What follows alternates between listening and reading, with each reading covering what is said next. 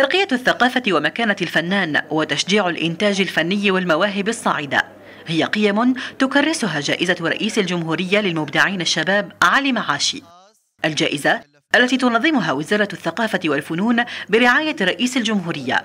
أشرف على مراسم تسليمها هذا العام الوزير الأول بتكليف من رئيس الجمهورية. خلال احتفالية نظمت احتفاء باليوم الوطني للفنان الذي يصادف تاريخ الثامن جوان من كل سنة. هذا اليوم الذي ارتضته القيادة السياسية في بلادنا سانحة لإكبار وإكرام الفنان والمثقف الجزائري حامل لواء القلوة الناعمة والواجهة الأرقى لإشعاع الجزائر إقليميا ودوليا. جائزة علي معاشي في طبعتها ل 2024 عرفت مشاركة نوعية لشباب متميز من مختلف ربوع الوطن. أبدعوا في مختلف المجالات الفنية من كتابة أدبية ومسرح وسينما وكذا الموسيقى والرقص والفنون التشكيلية.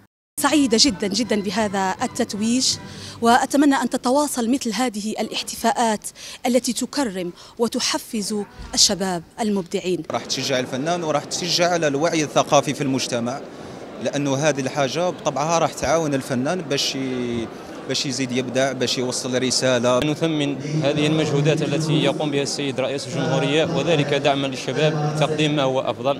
مراسم الاحتفال كانت أيضا فرصة للقاء. إذ عرفت حضور العديد من الوجوه الفنية الجزائرية التي قدمت لإحياء اليوم الوطني للفنان. وفاء للفنان الشهيد علي معاشي واستكمالا لمسيرته النبيلة. تاريخ ذاكرة الشعوب وعلى هذا الأساس نحن اليوم كفنانين نريد من خلال هذا اليوم المشهود لأننا نعيش مع علي معاشي. الله يرحمه ويرحم الشهداء اللي أعطونا فرصة اليوم باش نتكلم بصوت مرتفع ونخلي الشباب اليوم يصبحوا عالميين. ذكرى نستحضروا فيها أساتذتنا اللي ماتوا الله يرحمهم والناس اللي خدمت باش الفن الجزائري يرتقي إلى أعلى المراتب. هذه المبادرة مبادرة طيبة جدا.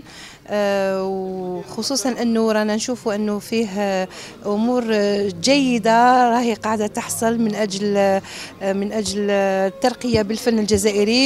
مراسم تسليم الجائزة كانت أيضا فرصة لتكريم رئيس الجمهورية من طرف مجاهدين من أعضاء الفرقة الفنية لجبهة التحرير الوطني. بنسخة من كتاب نجوم الثورة في مسيرة المجد.